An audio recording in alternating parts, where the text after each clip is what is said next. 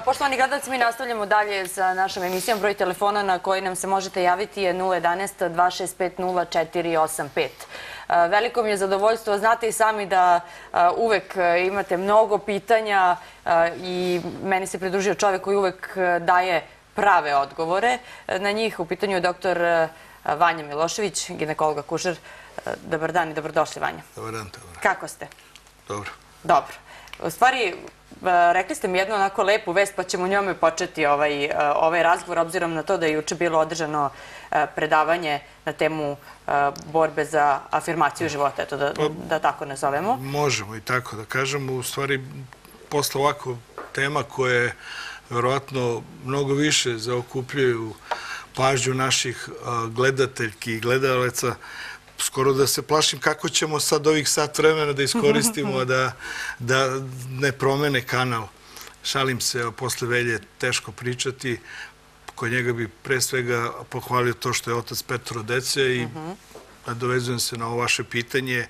Jedna vrlo topla i uzvišena stvar, plemenita, organizuje se već po drugi put u, u sklopu jedne akcije koja bi trebalo da pospeši, da afirmiše sve ono što je lepo i što ide uz rađenje.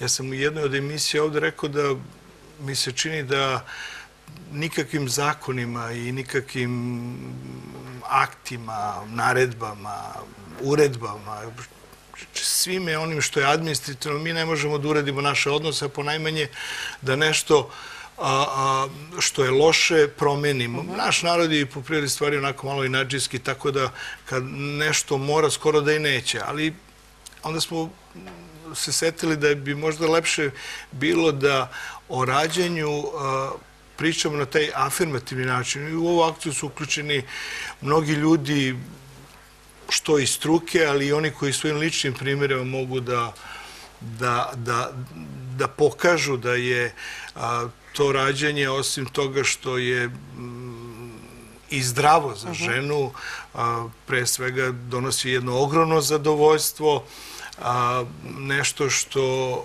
ispunjava svaku ženu, svaku porodicu i, znate, postoje ljudi koji u nečem dobrom vide loše, a ja sam od onih koji u nečem lošem hoću da vidim nešto dobro, tako da pohvaljem tu akciju iz prosto jednog razloga što um, sam primetio mnogo mladih osoba.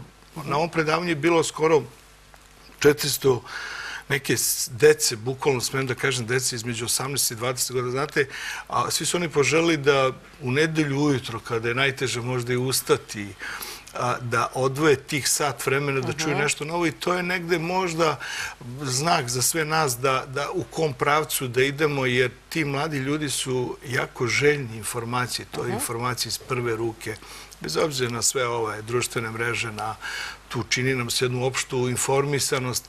Mislim da je živa reč mnogo važnija i eto, osetio sam juče tu neku energiju Tako da sam ceo dan bio nekako srećan zbog toga. Koja su vanja najčešće pitanja koja postavljaju mladi ljudi? Oko čega imaju najveću nedoumicu? Pa, mladi ljudi po prirodi stvari su, osim što su jako zainteresovani da se i radoznali, imaju osjećaj da je to nešto što se dešava tamo nekom drugom. I često su to iskustva, a neredko su to neka gorka iskustva nekih njihovih bližih, nešto što njih koči. Tako da oni još uvek tu trudnoću doživljavaju kao neki tabu. Znate, to su neke godine koje su i hormonski, i fiziološki, i prekretnica u životu. Tako da oni, osim što spoznaju sebe fizički, mnogo više spoznaju sebe psihički, onda u nekom neformalnom razgovoru posle toga mi se desilo da su mnogi od njih priznale da sve ono što se čuje, a što nije afirmativno, njih na neki način odbija od te mhm. trudnoće. Znate, mi često pričamo o komplikacijama, one, one i postoje. Postoje, da nekim lošim stranama koje, koje se dešava, koje se zovu taj veštački prekid od noći. Sve ono što ide uz to. Tako da mislim da bi možda ovo o čemu mi sada pričamo, mhm. da pričamo afirmativno o rođenju, a ne onome, onoj drugoj strani, možda na izvestan način promenulo tu sliku, jer sam inače i jako ubeđen da e, samo promjena naše svesti, ali ne samo po pitanju zdravlja, nego uopšte generalno, da, da, da, da je jedino ono što može da nas izvuče iz ovakve neke situacije. Da, evo pa mi se trudimo iz emisije u emisiju, naravno govorimo i odgovaramo na pitanja naših gledalaca. Uvek su to uglavnom neke, niko se nije javio pa rekao, dobro Vanja, možete vi mene da podstaknete da ja postane majka, tako nego su se svi javljali sa nekim problemima. E, jedna, jedna, evo ja ću se sad nadovezati, juče sam čuo jednu i dobio jednu lepu poruku, jedan starina od 80 godina, Lazar Pređić, da ga spomenem sa Golije, mhm. otprilike čovjek koji nikad nije išao u škole i možda nije ni čitao knjige, ali ta prirodna i inteligencija, to pre svega iskustvo koje mi možemo mlađim ljudima da damo je da sve ovo što ja kažem danas će biti možda zaboravljeno, pa čak i ono što, sve što radim će biti zaboravljeno, ali ako ovo o čemu mi pričamo pobudi neke osjećaje kod nekih mladih ljudi, e, to je prava stvar. To se odnosi pre svega kad je u pitanju ova važna tema, pa, mhm. u principu i sve ostalo u životu.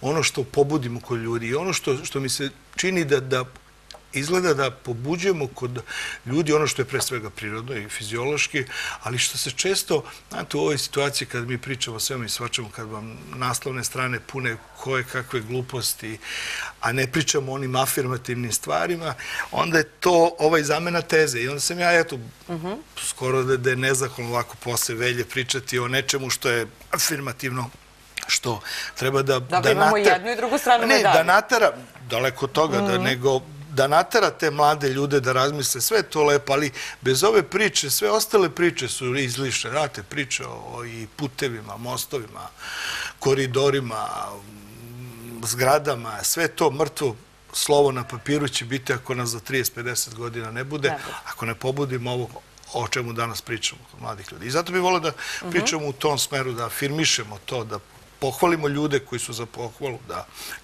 da prosto da ovakvim razgovorima samo damo temu za razmišljanje. Kao što imam hiljadu stvari o kojima možemo ovakvu skaficu s mlekom da pričamo. Da, evo, lagano, imamo dovoljno vremena, pohvalit ćemo posle i... Da se zahvalim za ovo mleko. I neke ljude, da, evo, pohvala i za naše drage kolege koji su zaduženi za ovu dobru kafu. A da vidimo ko je sa nama ovoga jutra. Dobar dan. Dobar dan. Evo, ja pozdravljam doktora. To je izuzetna klinika i on izuzetan doktor i sve što priča je jako super, samo malo pre spomenuo on e, vaše prethodnog gosta Ilića i ja bih spomenuo i jednog gosta koga ste imali, to je Vuk Jeremić, ali niste dali puno slušalcima kad su bili ti gosti prostora da kažu, jer bez stvaranja uslova, znači e, privrede, novih radnih mesta, stanova, šanse za razvoj društva i povećanja nataliteta su vrlo male. Ili tako? Pa šta da radimo? Dajte te goste koje zovete da i odgovore na neka pitanja slušalca, jer mi se vrtimo u krug. Imam utisak da smo lutkarsko pozorište gde neko drugi povlači konce tamo iz e, onih dalekih zemalja anglosaksonskih a mi smo samo lutke koje se smenjuju.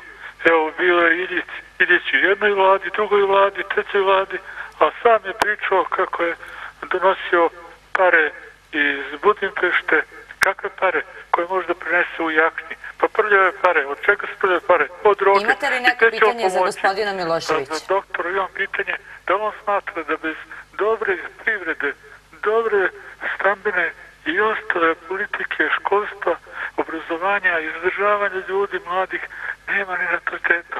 Hvala najlepše. Hvala vam. Samo ću zamoliti kolege iz režije da nam ovo tomu studiju. Nisam siguran da sam čuo, ali evo, mhm. meni je jako drago što ja nisam političar, što nikad neću biti političar, prosto mislim da lekari nemaju šta da tražu u politici, tako da smo mi ono što bi se reklo van vremenski i van prostorno u sva ova uvažavanja i Vuka Jeremića i Velje, to su njihove priče. Ja ulazim u ono što se tiče mene, moje struke i ono kako ja mogu da pomognem na izvestan način sebi, ljudima oko sebe i na kraju svom, svom narodu. Jer, znate, ovaj, pričajući o ovakvim afirmativnim stvarima, a ne o nekim drugim, ja mislim da mnogo činim važniju stvar bez ikakvih pretenzija, jer, a, znate, a, hteo sam da spomenem u jednom, recimo, mom gostovanju ovde, dotakli smo se jednog čoveka koji je svojim ličnim primerom a, svakoj trudnici koja se porodila na njegovoj opštini, na njegovoj teritoriji davo maternu pomoć, nekad je to bilo 100, nekad 200 eura, ali zamislite, a, evo, skoro da se osjećam loše što nikad nisam vidio takvog čoveka u ovakvoj jednoj emisiji, pokušavam da stupim u kontakt s njim, jer verujte mi, njegovih 100, 200 eura je mnogo čistije nego sve ono što, što, što, što možda neki ljudi ovaj, rade, jer, znate, takve stvari treba afirmisati. Afirmisati stvari da sa neke,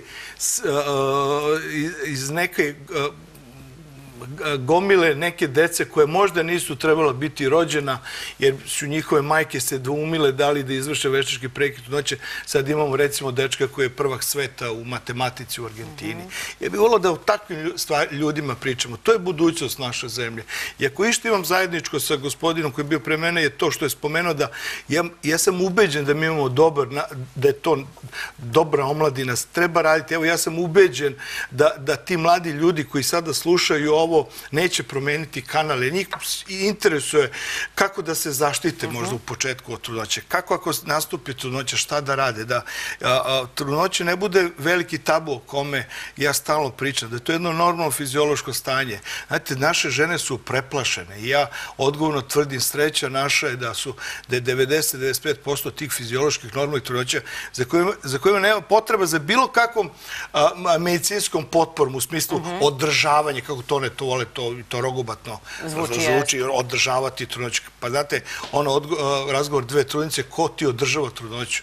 Održavaš je ti sama mhm. svojim stanjem, a ne ni najmanje neki doktor. Možda se ovo neće svidjeti mojim kolegama, ali a, imamo sreću da, da, da, je, da, da je to jedno normalno fiziološko stanje. I ajde da pričamo o tome. Pa onda šta će se desiti, kako da taj porođaj ne bude tabu, tabu za nju, preplašena, koga će. Da li je moguće da treba nekog da ima, da nađe, da angažuje dodatno babicu, lekara, kada to sve funkcioniše, kada sistem funkcioniše 24 sata. Ajde da pričamo da se te klinike, veliki instituti otvore popodne, za koje se ja zalažem.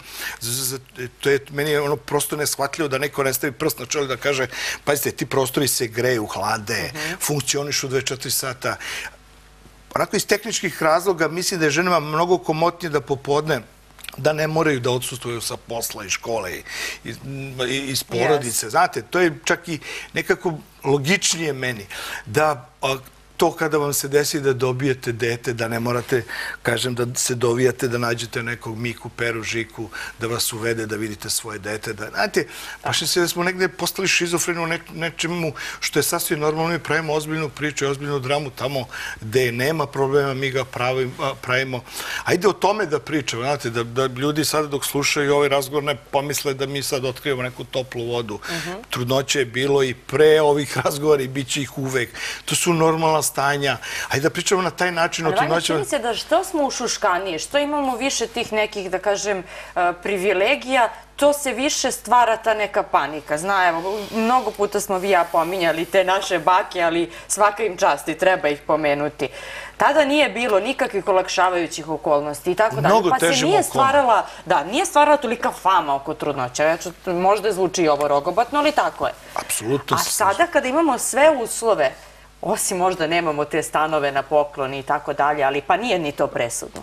Ba, ja... Važno je gde će dete da živi, ali... Stalno se vraćam na, na taj jedan onako skoro uh, simpatičan uh, od gospodina Mome Kapora.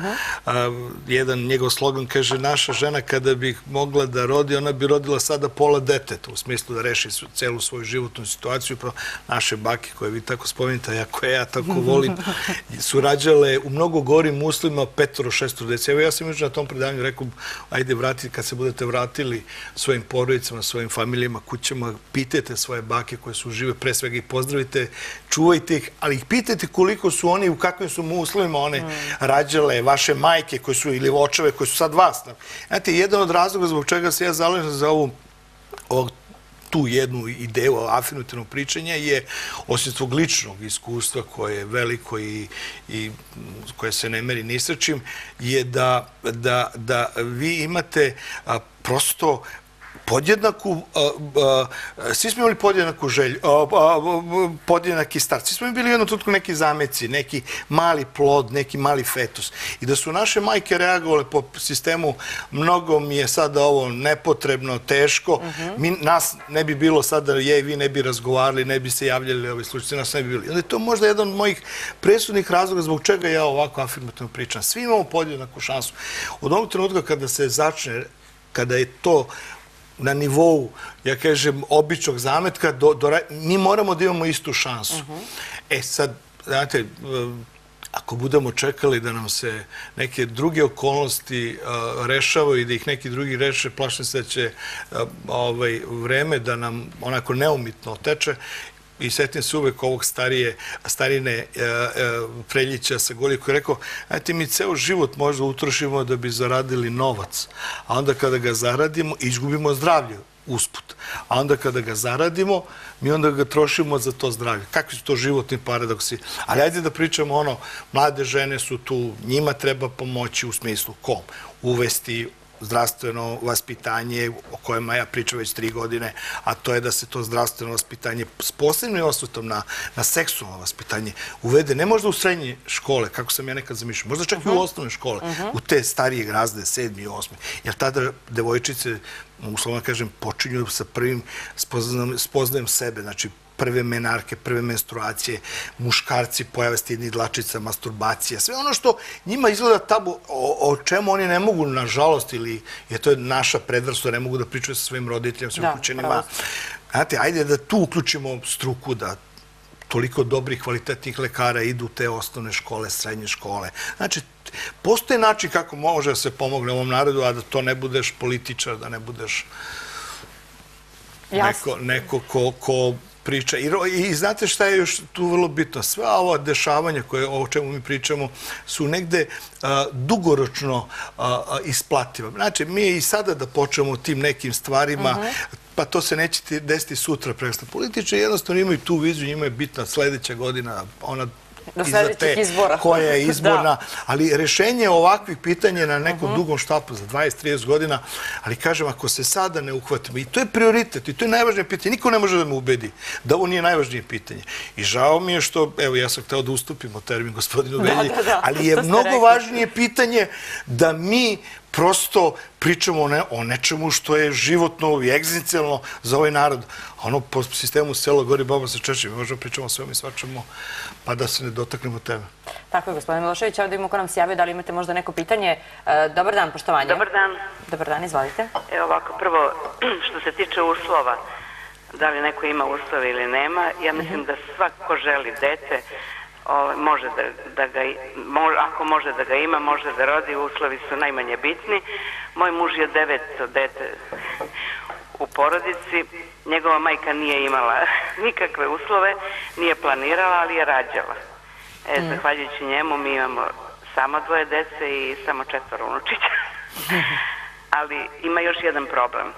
Danas je veći problem ubediti mlade da se žene i udaju, E, to je, I nije tačno da se ne ženi ne udaju što nemaju uslove.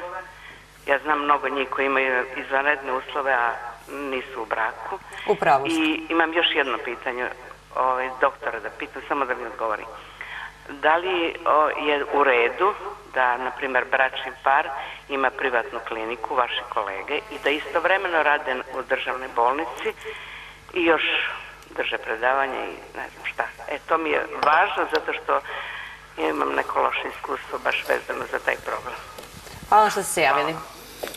Pa evo, ovaj, opet ću se vratiti na gospodina Velju Ilića, spominjat će me. Ovo, kako je on negdje, ja sam došao upravo kad je on završavao to svoje izlaganje i rekao je da Pa između oslog i taj položaj lekara o čemu ste vi pričali.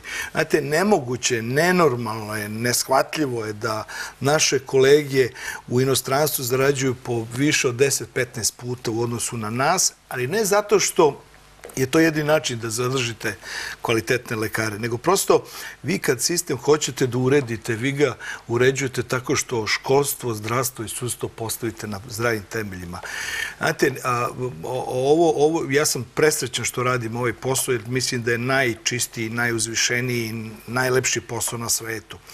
Biti lekar je privilegija, lečiti ljude je nešto što se ne meri ni sa na ovom svetu. Ali Između ostalog, e, drago mi je što ste spomenuli to pitanje, jer se svi nekako vrtimo oko toga, oko te materijalne strane. Znate, spomenuli ste da se mladi ljudi slabo odlučuju na brak, a ja sam recimo juče saznao podatak da skoro nema prazne sale u narednih godinu dana u Beogradu za svadbe. Znači, dešava se to, ima toga. Žalostno što se oni uglavnom posle i razvode mnogo brže nego što se ispoje.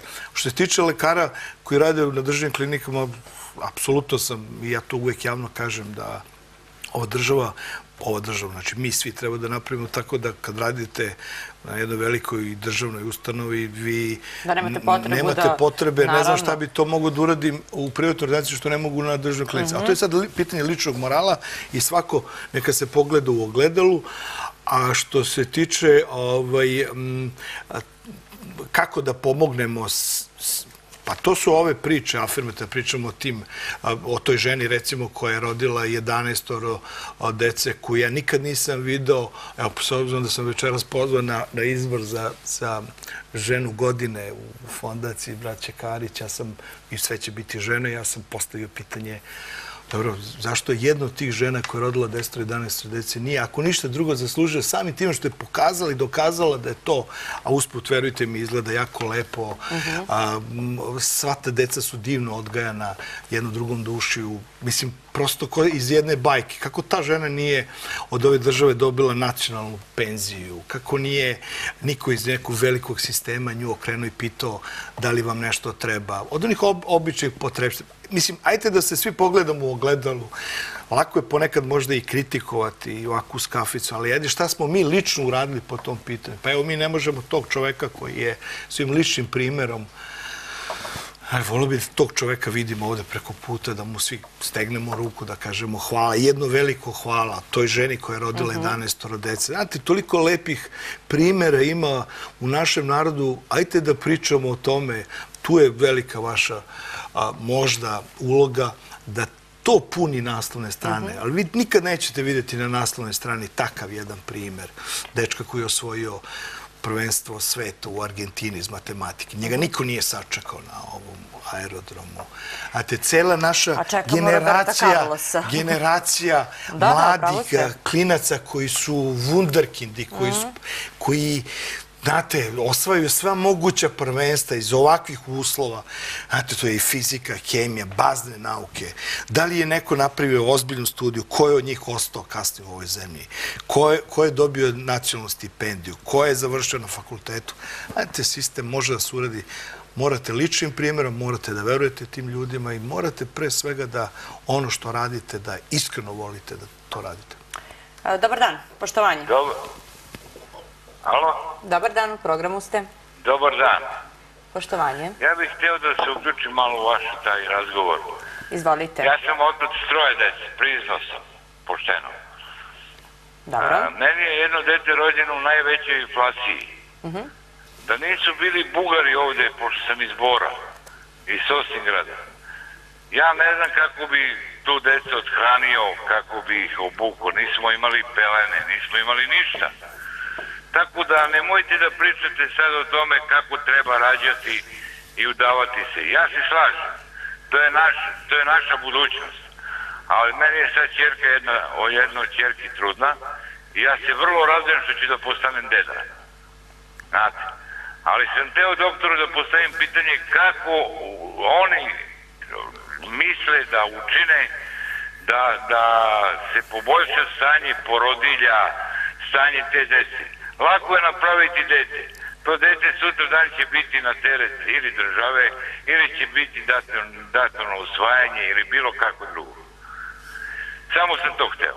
Hvala što Neka on kaže kako misli svojim radom i svojim delovanjem prema državi normalno mi smo svi vezani za neku usranu državu što ne bi trebalo da bude. Hvala vam što ste se javili. Nemojte samo ono pre toga što ste rekli, ovo je država naša jedna, jedina Da. i moramo prema njoj da se ovaj, obhodimo kao prema porodici. Mi drugu državu niti možemo, niti treba da imamo. Ali ovo što se tiče, b- lepo ste primetili, možda ponekad i nije samo tako lako napraviti dete. Na nama, ja pričam samo iz svog nekog dometa i domena je da taj, tu trudnoću i taj porađaj ne učinimo tabu. Ja sam to jasno rekao. Znači, ova država i ovaj sistem mora da urade da od tih najobičnijih ginekoloških pregleda, skining pregleda, da to pod znakom navoda održavanja trudnoće ne bude toliko komplikovano da iz prosto tih tehničkih razvoja, znači od zakazivanja pregleda do toga da trudnica, znate, nije dovoljno samo trudnici da se podigne tu gradskom saobraćenom i da ima prednost kada kupuje nešto u, u supermarketu. Ona mora tako da ima prosto prođu i kada ide na pregleda i kada dođe do porođaja, a onda je na državi da sve drugo odradi. Ovo što ste vi primetili za te stanove, za, za, za, za tu materijalnu pomoć, ja sam slučajno jutro pogledao jedan mali prilog čoveka koji je, pošto je danas dan, a, svetski dan deteta, između oslog imam i tu jednu onako opasku, šta je sa tim osnovnim postulatom da dete ima pravo da se rodi. I to je o- u, u, u formi ovog našeg afirmativnog rađenja. A, znate, neki, neki sistemi, neke države su prepoznale to kao gorući problem, pa su smanjili taj broj veštačkih trudno, a, prekida trudnoće, pa su afirmisali da svaka žena, evo ja sam čuo da u našem zakonu se spremaju neke novine, što pozdravljam, da svaka žena koja je u radnom odnosu, da to po automatizu se produžava, da žena ne, da se olakša taj postporođajni a, tretman i to bolovanje, da ne ide to sa svim mogućim komplikacijama kako to ide, da, da firme koje zapošljavaju te samohrane majke i uopšte majke, ne, taj, taj rogobat isto ovaj, izraz samohrane majke. Majke su majke. Jeste. Prosto ne postoji ter, podela na ovaj, ovako ili onako. Najveća i najizrušenija stvar majka, ali da država stane iza toga, da, da, da znate, od tog dodatka koji je sad simboličan i smešan, da, da, da a, zapošljavanja. Znate, ja se uvek nekako setim toga da su u Rusiji 2007-2008 godine donešene mere i tek sada daju rezultate. One su onako napravili jedan ozbiljan pomak u tome da, da su prepoznali kao gorući problem da ih neće biti. Znate, jedna ogromna Rusija je prepoznala to kao gorući problem, napravila je ozbiljnu strategiju, toga se pridržavaju kod njih su prvo smanjili taj veštački prekid trudnoće na, na, na jednu razumljivu meru sa tendencijom da se na tom pitanju ozbiljno radi, da majka kada dođe u situaciju da rodi, da se porodi, da sve privilegije ovog sistema, jer da vam kažem, ne mislim da, da, da, da je to ozbiljan teret sad za ovu državu da svaka žena koja je recimo rodila treće dete, da ima neku određenu beneficiju, da li će to biti nacionalna penzija, da će imati prednost u odnosu na onu koja nije, e, koja nema. Znate, postoji način i mi ne treba da izmišljamo toplu vodu, da primenimo neke, neke ovaj, stvari koje se već dešavaju u, u tom Pa svetu. smo pominjali Palmu prošle put, je tako? Da, apsolutno, apsolutno. Primjer. Jer, znate, ajte da svako uradi šta je u njegovom domenu, Domenu, da, da, jer i velike stvari nekad počinju od tih malih stvari, znate, ako rešavamo, deš, očekujemo da nam neko nešto reši, teško da ćemo se pomesti s mesta. E, Dobar dan, poštovanje. Dobar dan, Poštovanje, ko je sa nama? E, Nataša od iz Beograda. Poštovanje, Nataša, izvolite. E, Htjela sam da pozdravim doktora Hvala. Dobro. i a, htjela sam ovaj, da kažem da sam eto sticam okolnosti, imam troje dete pa sam odlazila kod njega u Narodni front na neke preglede i da sam stvarno zadovoljna i da je veliki stručnjak i profesionalac i da je baš strašno ljubazan, izlazi u susret lepo sa objašnjenjima da umiri žene, ja sam imala neka krvarenja i tako. Ovaj, e, htjela sam još da kažem, pošto imam troje dece i pošto je prethodni god bio Velja Ilić, e, za doktora znači sve pohvali i sve najbolje, ali sam htjela da a, ovaj, postavim pitanje, pošto se ova zemlja bori za natalitet, a ja sam majka troje dece. Ja dve i po godine svoju decu ne mogu da upišem u vrtić. Ni jedan. Znači, živim na Novom Beogradu i e, nije mi ponuđena nikad čak ni alternativa. Jasno, da, to je veliki problem i o tome se govori u našoj emisiji. Ne znam da li ste pratili ranije, nismo konkretno pričali sa Veljom Pa Ilićem o tome, nisam, ali... ovaj, nisam čula, sad sam slučajno pogledala vašu emisiju i htjela sam da se uključim a, iz razloga zato što sam ja morala da napustim posao da bi čuvala decu. Da, potpuno I zato što znači ova država nam ne omogućava ništa, doktori u pravu, treba natalitet, treba sve. Evo ja imam troje dece, ali treba ipak i da se radi, da se zaradi, da se sa dete izdržavaju. Znači, država nam to ne omogućava. Čak su mi primili najmlađe dete u vrtić, ovaj, ali pošto starije ne ide, od, odbili su i mlađe. I kad smo ja i suprug otišli da se informišemo šta se dešava, oni su nas izbacili iz uprave 11. aprila na Novom Beogradu. Čak smo dobili e, tužbu od njih, od uprave. Znači, uprava vrtića je nas tužila što smo išli po informacije za svoju decu. Znači, to je strašno šta se radi.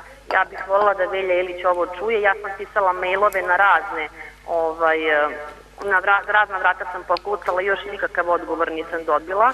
Ovaj, pravo da vam kažem, teško da ću i dobiti, kakva nam je zemlja, ali eto, čisto ja radim sve što je u mojoj moći da prosto eto se sazna šta se ovde radi, kako se radi i kakav oni primer daju budućim majkama da, da rađaju decu ako se ovako po, ponašaju. Eto, Hvala vam što ste se javili. Samo sam to htjela da kažem, Da. hvala puno. Hvala vam što ste se javili. Sad ako kažem, žao mi je što ne mogu da pomognem, verujte da, da na neki način prosto ne mogu da razumem, a sve sam, svestan sam čak i iz nekog ličnog iskustva, da je upis sad deteta u preškolsku ustanu mislena imenica. Čak je. jedna od mojih juče opaski bilo da je to za ovu državu nedopustivo. I to treba javno i jasno reći. Znači, ja sam mišljenje da se takve stvari rešavaju baš po principu to, kancelariji za brze odgovore. Prvo vi morate da imate, ali to, to je jedina moja zamerka ovaj, u ovom trenutku je da se mora da se formira ministarstvo za porodicu. Da će upravo ovakve stvari da se rešavaju ad hoc, znači od slučaja do slučaja. Znači, ova gospođa nema potrebu da obilazi Znači, ona je dovoljno time što je rodila tre, tre- tri deteta da ima pravo da okrene da kaže i da, da neko dođe na njena vrata da uzme te sve papire da odnese i da kaže sutra ćete, sutra ćete odvesti dete u to i to preško ustanovo. Znači, tu mora i da mora da se uradi vrlo ekspeditivno jer to je jedina,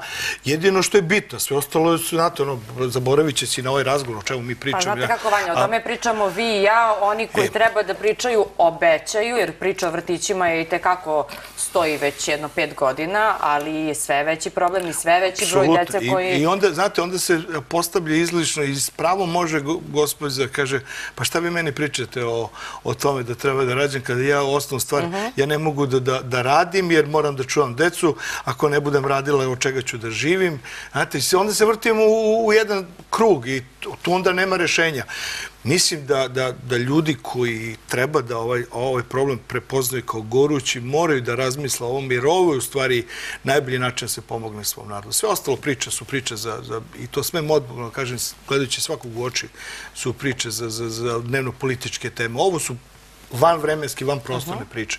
Ovo, da žena sa tri deteta ne može da upiše dete u obdanište, da vi imate sad problem da žene bukvalno gube posao ili potpisuju neke a, ugovore da se obavezuju da neće ostati u drugom stanju Da. dok su na nekoj poziciji. Pa zamislite, pa kakve svrke ima ovaj moj dolazak ovde? Šta ja da pričam o, o tome i da ih na neki način afirmišemo i da pričamo o lepim stvarima, a onda ona dođe i surova, realnost, neko u nekoj firmi traži papir da potpiše da, da, da u narednom periodu neće ni razmišljati o tome. Mislim, to su takvi paradoksi da ja prosto neću da verujem u to, a znam da se to dešava. E, tu država treba jasno i glasno da odgovori.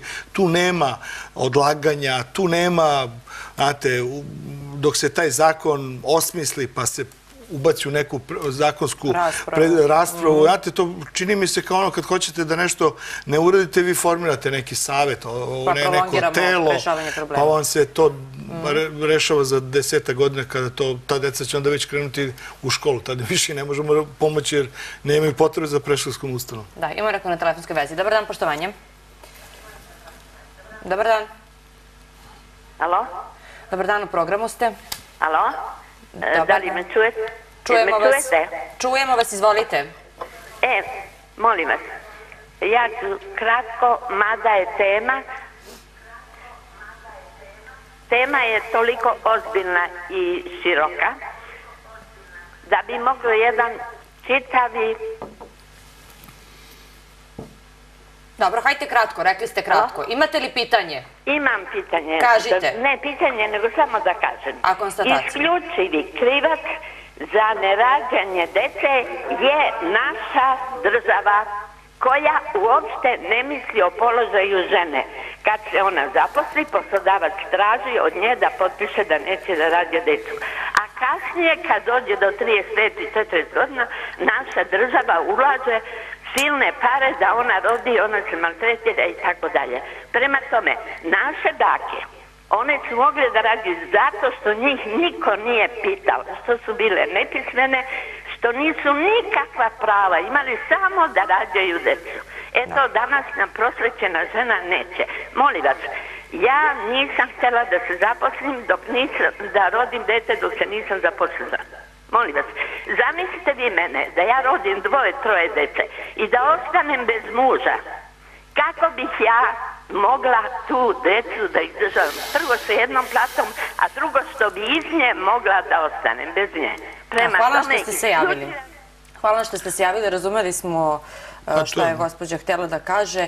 I Vanja, ovo je još jedan u nizu primjera da, da svi govore da zapravo nisu krive te žene. Iako se toliko priča o toj e, rodnoj ravnopravnosti, o poziciji žene u društvu, kako smo napredovali kao država, kako se žene danas cene i tako dalje, a onda imamo sa druge strane i nasilje u porodici, 24 žene ubijene od početka godine i tako dalje, da sada ne ulazimo u te neke mračne teme, rekli smo e, čisto, čisto afirmativno, ali mi je drago da se javljaju isključivo gledalci koji imaju, jeste primetili to, troje, deci i tako dalje i tako dalje. Ja bih volila da nam se javi neko ko možda se još nije ostvario u ulozi roditelja, pa da nam kaže kako Kakvo je njihovo viđenje? Bilo, bilo da, bi da. lepo, a samo da jedan mali odgovor i Mhm, kratak dam na, na ovaj, o- pitanje, ovaj, u stvari na konstataciju ove gledateljke je, setim se uvek Duška Radovića i onog čuvenog teksta kada nam čitaju matičari, kada, Mhm. kada se venčavamo, kad kaže ne dajte da vam država uređuje te vaše odnose. Slažem se ja da drža, država treba tu da pomogne, ali ipak, znate, ipak možda iz nekog malog ličnog sebičluka se mi često ne odlučujemo na taj čin, a država jeste, ona treba da brine o svakom pojedincu i, znate, kao što ima ono da šta ja dajem državi, treba da bude i ono uzvratno šta država daje meni. Tako da, Ali dobro, u pravu ste, ne možemo baš da krivimo da, ne za možemo, ovakve zna, znate, jer, jer sad mo- mogu opet da dam odgovor šta je država uradila za te naše bake, pa su one rađale. Znači, to je pitanje sad promene svesti, mentaliteta, ali eto, ovi mali koraci. Zato se ja zahvaljujem vama i verujte mi da jedna od e, možda redkih mogućnosti emisije u kojima se ovako i na jedan vrlo ozbiljan način, pre svega i, e, znate, sat vremena jednog televizijskog programa nije jednostavno dati nekomu i ustupiti, jer je to nešto što košta mnogo. Ali, znate, mi pričamo, ja ne vidim nešto da se puno na, na, na, nekim drugim kanalima, drugim televizijama nešto toliko afirmativno priča o tome i, eto, moja možda pohvala ne zato što sam ja ovde, nego Hvala zato što uopšte pričamo o tim stvarima, to je nešto što traje već par godina i, I i, i mnogo toga smo Mhm. pobudili, ono, vraćam se sa onom prvu moju rečenicu, ako smo pobudili kod nekih ljudi to da su posle ovakvih emisija stavili prst na čelo, pa to je dovoljno. Ja uvek kažem Vanja kad vi odete, ako Vanja na sve deluje tako kao što deluje na mene, znači da smo postigli nešto. Tako da zaista i moje pohvale. Dobar dan, poštovanje. Halo, halo, Halo, halo. e, dobar dan. Dobar dan. Molim vas lepo, ovde je jedna baka. Kažite, bako. Znači iz vremena kad sam ja rađala decu i bila zaposlena. I sada gledam moje unuke i gledam ovu omladinu koja ne može da se zaposli jer ima decu. A ako i nađe, daj Bože, neko obdanište, to je otprilike jedno 20 km od mesta gde stanuje. Pa vuče decu po autobusima. Pa dajte, molim vas, nemojmo da pričamo. Država mora da stvori obdaništa blizu, da omogući tim ženama da se zaposle, da izdržavaju decu.